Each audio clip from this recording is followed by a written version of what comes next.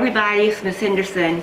And as I told you previously about all the stuff going on in March, I mentioned that it's Women's History Month.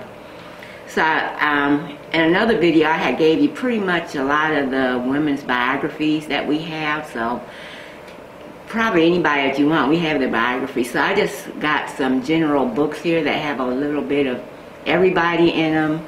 These um, books, She Persisted. I really like these because they just give a little, just a little paragraph of anybody you want to know about. This is written by Chelsea Clinton, both of these books. And this book, although it looks like it would be for uh, little kids, this one actually goes into a little bit more detail. This is called Little Leaders, Bold Women in Black History. So it's got some of everybody in here. Ella Fitzgerald, Josephine Baker, Alice Ball, Zora Neale Hurston. And then this is 100 Women Who Made History. This has some of everybody in it too.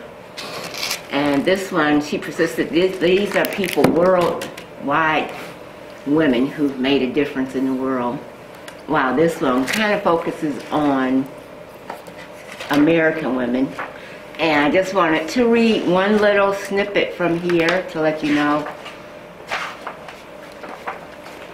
what this book has in it. And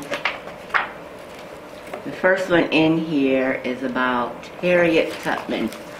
And it says, Harriet Tubman was born a slave, and her story could have ended there. Instead, she persisted escaping from slavery and becoming the most famous conductor on the Underground Railroad. She risked her life many times to lead countless slaves to freedom, including her family, friends, and strangers.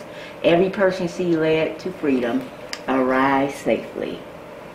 I should fight for my liberty as long as my strength lasted. Well, I just have little snippets. That's what I like about it. so kids can just learn a little bit, get to know these names. And we've got, like I said, we've got plenty of other biographies and other books about women, so come and celebrate Women's History Month with us all this month. I also have coloring sheets that I'm going to have upstairs. Um, I'm not going to have them out because we don't want a lot of people touching them, but you can ask somebody in the children's department or ask the person at the circulation desk to look in the children's mailbox, and that's where they'll be. Thank you.